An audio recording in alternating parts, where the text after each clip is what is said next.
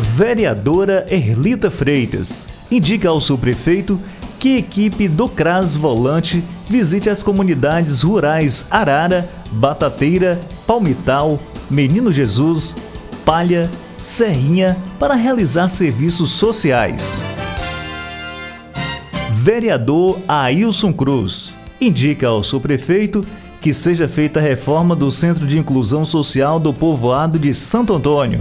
Indica ao subprefeito que sejam construídos novos abrigos de passageiros de transporte coletivo em nossa cidade.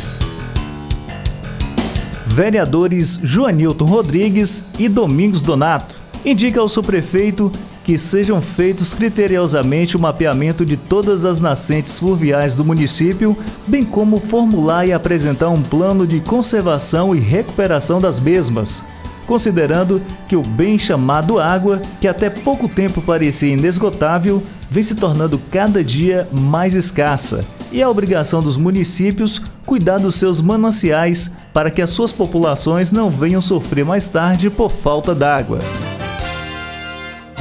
Vereador Zé da Mata. Pedido de providência que solicita ao seu prefeito que sejam revistas ações de aterros feitas nas margens do córrego Lava Pés entre os bairros Tancredo Neves e Redenção. Vereador Gilberto Leme Soares. Moção de congratulação ao Dia Nacional da Baiana de Acarajé.